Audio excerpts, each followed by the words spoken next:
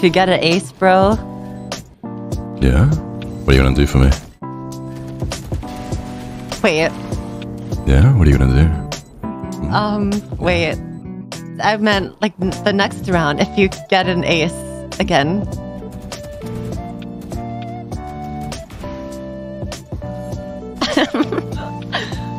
you got this. Oh, you're so good. So, um, got another ace for you, huh?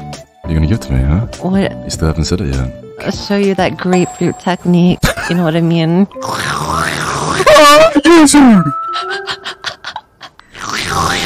What's up? In game, in game, right? Yeah, in Minecraft. Yeah, in Minecraft. Yeah, yeah, I got you, bro. I got you, yeah.